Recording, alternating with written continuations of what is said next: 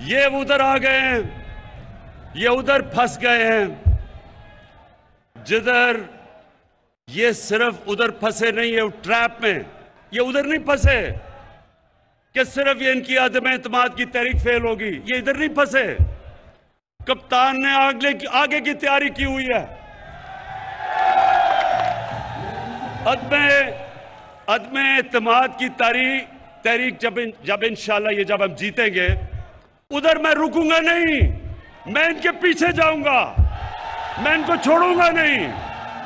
जो अब तक, जो अब तक मेरे हाथ बंधे हुए थे, फंसे हुए थे, कभी ये मसला, कभी दुनिया का, अब जिस तरह मैंने बताया, कोरोना आ गई तो लॉकडाउन हो मेरे अब हाथ, वो जो जंजीर बली हुई थी ना, वो अब खुल जाएगी। और मैंने सुने जरा, सुने। पहला टारगेट पहला मेरा टारगेट होगा जिसके ऊपर बड़ी देर से जो मेरी बंदूक की नशिश पे बड़ी देर से उसके ऊपर आया हुआ वो है आसिफ अली जरदारी।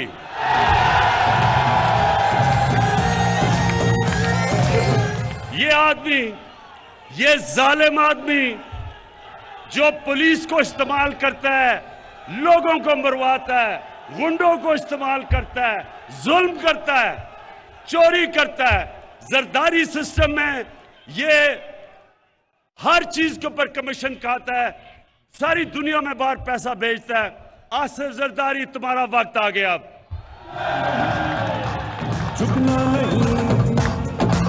हर जगह हर जगह ये पीछे फिरता है पैसे के टोकरे लेके बीस बीस करोड़ की इसने रकम हमारे लोगों को खरीदने के लिए रखी हुई है।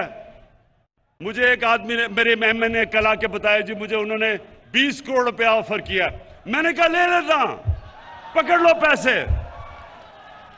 हराम का पैसा पकड़ लो और उसके बाद कोई पनागा खोल देना, कोई लंगर खोल देना, कोई यतीम खाना खोल देना। स्वाब मिलेगा तुम्हें। लेकिन लेकिन लेकिन जरदारी ये जो तुम, जब तुम्हें नैब बुलाती है तो कमर में दर्द हो जाती है। दूसरी तरफ़ दूसरी तरफ़ आपने देखा होगा, मकसूद चपड़ासी वाला। कौन है वो मकसूद चपड़ासी वाला?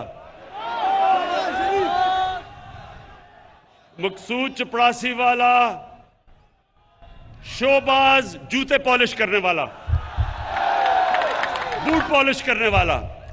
वो वो इसके साथ मिल गया है, क्योंकि उसको पता चल गया है कि वक्त आ गया है। अब वो जो खींचता गया जी, मेरी हर रोज जब केस हो, मुझे कभी कोरोना हो जाता है, कभी उसका वकील नहीं आता, कभी कमर में दर्द हो जाती है। लेकिन मकसूद चपड़ासी वाला तुम्हारा टाइम भी आ गया है। तुम्हारा भी तुम्हें पता है कि अगले तीन महीने के बाद तुम पूरी तरह जेल में डालोगे और जो तुमने अरबों रुपया इस मुल्क के बाहर, अपने बेटे को बाहर बैठाया हुआ है, अपने दामाद को बाहर बैठाया हुआ है, फ़िक्र ना करो, उनको से पैसा हम वापस लाके बिजली की कीमत और कम करेंगे।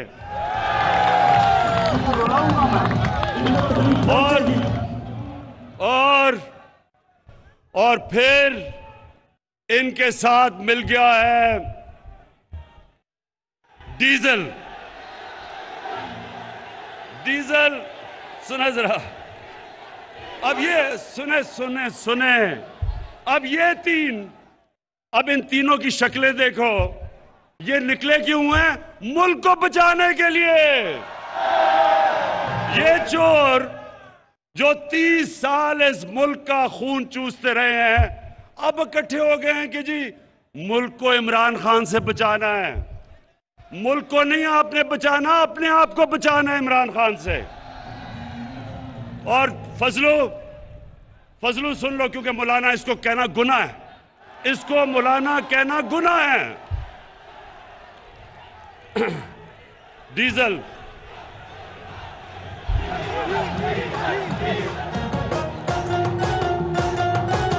मैं देखिए इज़्ज़त जिल्लत ऊपर वाला देता है। अब देखें, एक दीनी आदमी, जो कभी भी दीनी आदमी को तो अल्लाह अल्लाह की वो बातें करता है, अल्लाह को तो उसको इज़्ज़त देनी चाहिए। इसका नाम लो तो लोग डीजल डीजल की आवाज़ें लगा देते हैं। शर्म की बात है। तो फजलू, मिस्टर डीजल, तुम भी तैयार हो जाओ। इसने कहा जब इसको नैब ने बुलाया, इसके पास अरबों रुपए के असासे हैं। पता नहीं किधर से आए, क्योंकि काम तो ये कोई करता ही नहीं है। तो जब नैब ने इसको बुलाया तो कहता, मैं 2000 लोग लेके चला जाऊँगा। नैब को डरा दिया इसने। फजलू, तैयार हो जाओ। ये जब फेल होगी, ये जब आपकी फेल होगी और इंशाल्लाह होगी तो उसके बाद अगर 2000 लोग तुम नैब के बाहर लेके आओगे, एक लाख लोग मैं लेके आऊँगा तुमने तुमने इस मुल्क का, दीन का काफ़ी हमारे।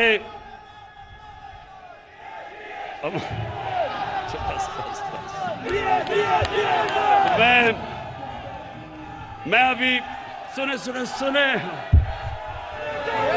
इंशाल्लाह, अभी मैं जुमे को दीर जा रहा हूँ। दीर के लोगों ने मुझे बुलाया हुआ है।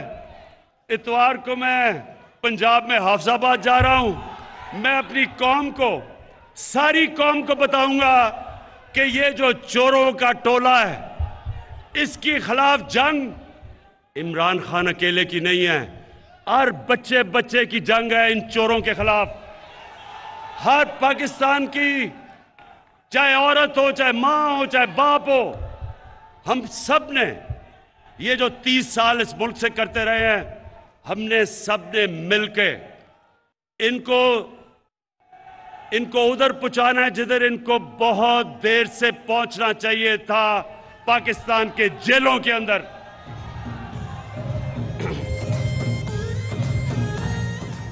और आसिफ जरदारी खुदा का वास्ता है, ये अपने बेटे को खुदा के वास्ते उर्दू तो सिखा दो।